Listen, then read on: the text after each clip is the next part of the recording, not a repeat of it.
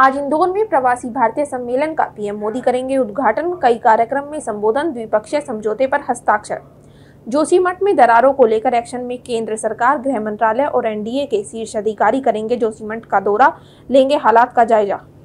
आज अम्बाला पहुंचेगी भारत जोड़ो यात्रा, राहुल संघ महिलाएँ करेंगी कदमताल राहुल गांधी की भारत जोड़ो यात्रा की शरद पवार ने की तारीफ़, बोले विपक्ष की एकजुटता में मददगार होगी पदयात्रा, शत्रुघ्न सिन्हा ने बताया क्रांतिकारी। सुप्रीम कोर्ट में आज अहम दिन जबरन धर्म, परिवर्तन और पूजा स्थल कानून के मुद्दे पर होगी सुनवाई। कोलकाता में आज से होगी जी ट्वेंटी की पहली बैठक। भारत समेत 19 देशों के प्रतिनिधि लेंगे हिस्सा। दसवीं और बारहवीं के छात्रों के लिए सीबीएसई की नई पहल। आज से सीबीएसई देगी स्टूडेंट्स को psychological council toll free number पर करना होगा कॉन्ट्रैक्ट सर्दी का सितम जारी। ठिठुर रहा उत्तर भारत। दिल्ली में सीज़न का सबसे ज़्यादा कोहरा जारी किया रेड अलर्ट नई सुलझी तुनिशा केस की गुत्थी सिजान खान की जमानत याचिका पर आज होगी सुनवाई, वसई कोर्ट सुनाएगा फैसला।